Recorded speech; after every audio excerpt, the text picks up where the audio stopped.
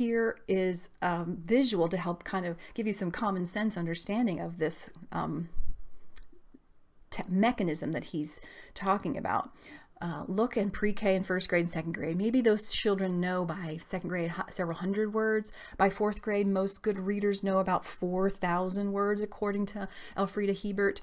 Um, but by the end of high school, they may know 20, 30, 40,000 words or more. It's kind of hard to estimate. How could they have possibly learned all of those words by being explicitly taught? Share says, in the face of this orthographic avalanche, in other words, so many spellings um, and so many words to learn, direct instruction is unlikely to offer a feasible acquisition strategy. So he's not saying that we shouldn't teach our kids how to read. It's just that we're not responsible for every learn word that they learn. We need to give them the tools that enable them to read many, many words themselves.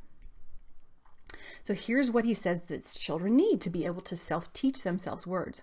Rudimentary self-teaching depends on three factors, letter sound knowledge, basic phonemic awareness, and the ability to utilize contextual information to determine exact word pronunciations on the bas basis of partial decodings.